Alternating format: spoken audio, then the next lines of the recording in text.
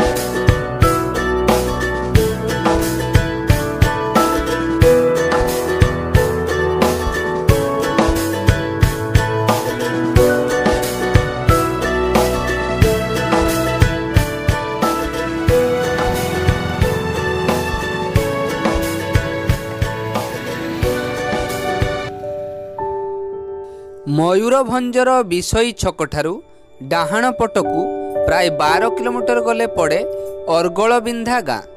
ଏହାରି ନିକଟରେ ରହିଛି ହାତୀଛାଡ଼ ଦୁଆରଶୁଣି ଗ୍ରାମ।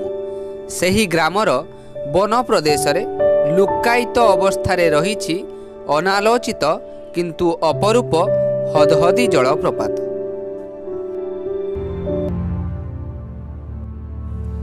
ପିଚୁ ରାସ୍ତାର ଡାହାଣ ପାର୍ଶ୍ୱକୁ ପାଦଚଲା ରାସ୍ତାରେ ବଣକୁ ପ୍ରବେଶ କଲେ।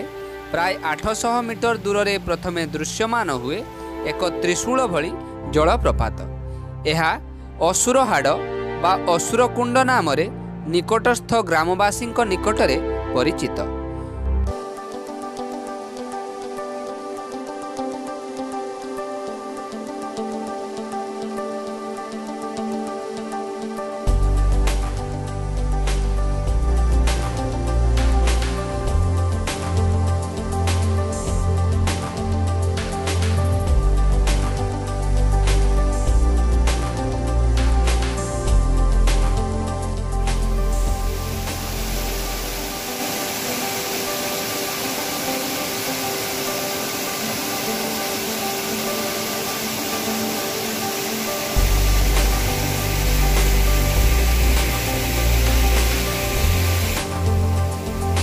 ଚତୁର୍ଦିଗରେ ସୁଉଚ୍ଚ ପର୍ବତମାଳା ଭିତରେ ସୃଷ୍ଟି ହୋଇଥିବା ଏହି ଜଳପ୍ରପାତଟିର ମନ୍ଦମଧୁର ସ୍ୱର ପର୍ଯ୍ୟଟକମାନଙ୍କର ପଥଶ୍ରମ ଲାଘବ କରିବା ନିମନ୍ତେ ବେଶ୍ ସକ୍ଷମ।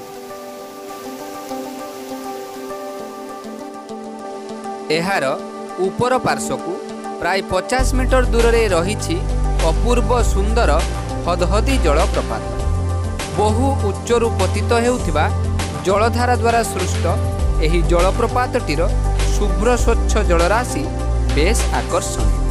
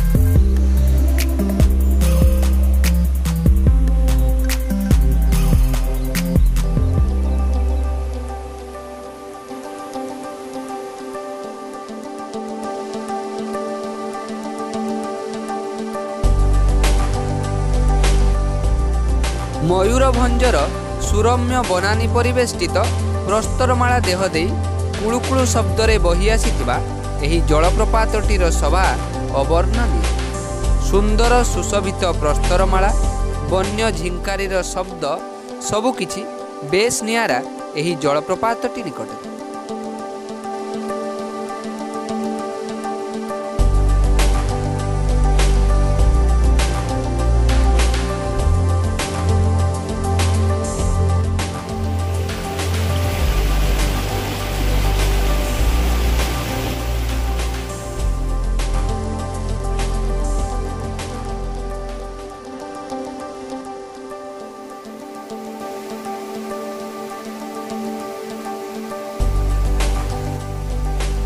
ତେବେ ଏହି ଜଳପ୍ରପାତଟି ନିକଟରେ ହାତୀର ଭୟ ରହିଛି।